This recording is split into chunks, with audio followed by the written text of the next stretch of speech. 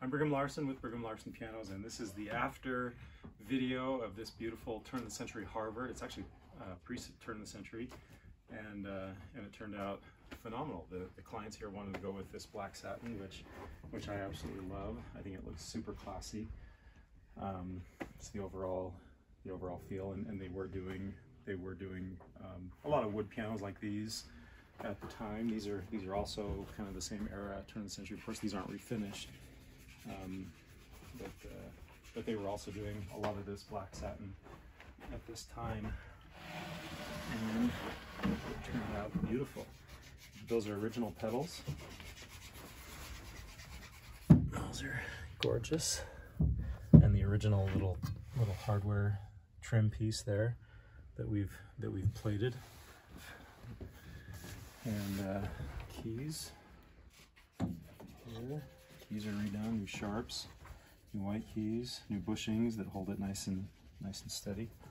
And this is a replica decal on there, Harvard Piano Company. And the piano sounds amazing. I'm going to play it for you in just a second. I'm really, really pleased. A lot of a lot of people um, sort of dismiss these old turn of the century pianos and just just want to kind of chuck them in the trash, but uh, but they merit this kind of attention. I, I find, and you'll hear why. You'll hear why I, I think so. Me a second. Let's check it out.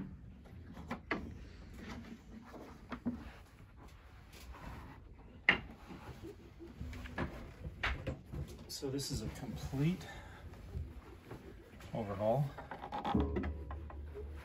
This one.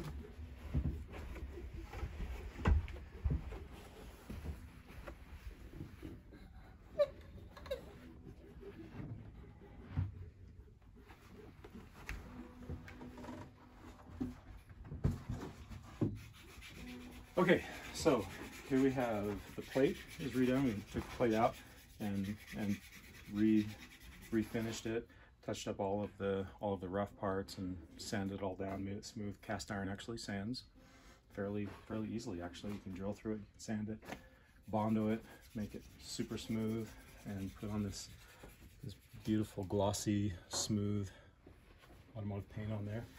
These kinds of things, these bolts and these screws, we have a, a special way of polishing those, getting them um, also super smooth, just a series of uh, sanding essentially all the way to like super high, super high grits and, and, and polishing it. New tuning pins. We, we always torque these tuning pins. Every single one, I insist on that. Every single one is torqued to between 100 to 120 pounds of torque, which is crucial for longevity. All new strings. This is also, these is original, but polished up. Got new hammers, new dampers, new hammer butts and shanks, new felt, and cloth. Looking really nice. Everything's all properly regulated, which is kind of a it's kind of a test if you're um, if you're not super familiar with pianos um, and you don't necessarily know if they're re properly regulated or not. Here's a quick quick way to, to tell. Well, one is you can check the dampers. If you go really gently on the dampers, you should be able to see all those dampers rise at exactly exactly the same exactly the same time. You go just as gently as you can. You shouldn't see one rise before the other. And and then when you depress the key here, this note should just pop right there, about an eighth of an inch to the string. That's one quick way to tell if it's, and then you st still should have a little bit of key travel after it escapes.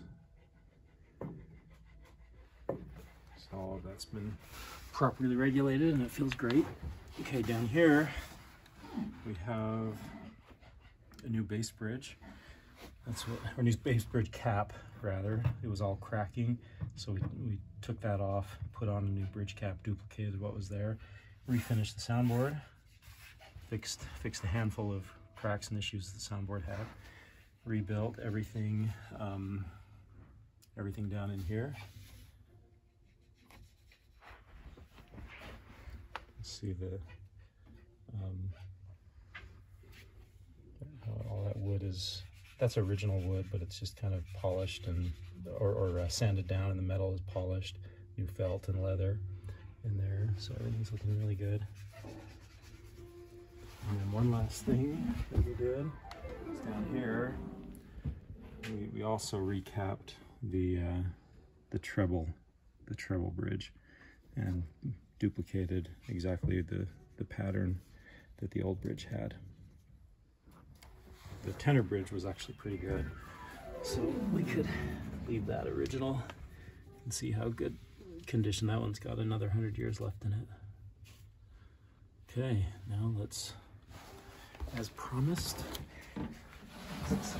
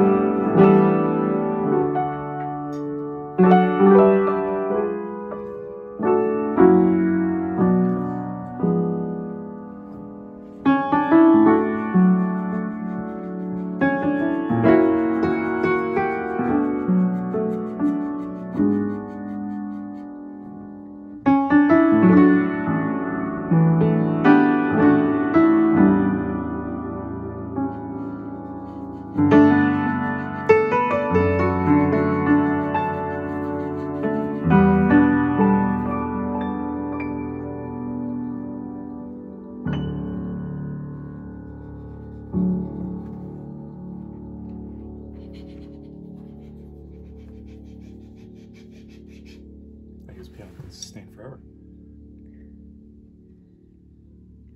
Not bad for 130 years old. That's what pianos can do. Old, old pianos when they're when they're rebuilt well. It's Pretty exciting, pretty satisfying project.